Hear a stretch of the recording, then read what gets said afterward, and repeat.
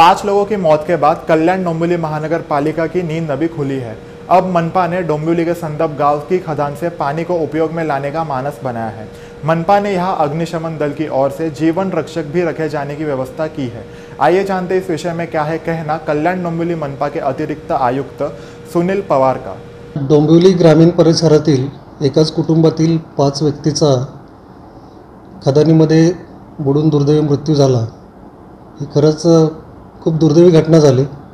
आणि या घटनेचं गांभीर्य लक्षात घेऊन आणि या घटनेमागची कारणं लक्षात घेऊन आमचे आयुक्त डॉक्टर विजय सूर्यवंशी यांनी पाणी पुरवठा विभागाला तात्काळ निर्देश दिले आणि काय कारवाई करता येईल याबद्दल निर्देश दिले होते. त्यानुसार आमच्या महापालिकेचे कार्यकारी अभियंता त्या खदानीची ते पाहणी करून आले.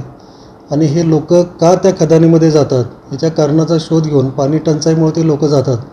तर हे खदानीमध्ये बुडून मृत्यू होऊ नये यासाठी पाहणी करून कार्यकारी अभियंत्यांनी आता असं सांगितलं की आपण आणि महापालिकेनं आयुक्तांनी पण त्याला मान्यता दिलेली आहे की त्या खदानीमधून पाच ते दहा हजार लिटर पाणी एका हौदामध्ये घ्यायचं आणि ते पाणी ते लोक आपले धुणी भांडी किंवा इतर जे कपडे धुण्यासाठी ते वापरतील. त्याचबरोबर महापालिकेनं पण ह्या डोंबिवलीतल्या सत्तावीस गावातले पाणी टंचाई लक्षात घेऊन आधीपासूनच प्रयत्न केले होते. अमृत योजना तिथं मंजूर आहे. परंतु अमृत योजना कार्यान्वित होईपर्यंत ही एम आय डी सीकडून जो पाणी पुरवठा होतो तो कमी प्रेशरनं होतो आणि कमी प्रमाणात पाणी पुरवठा होतो.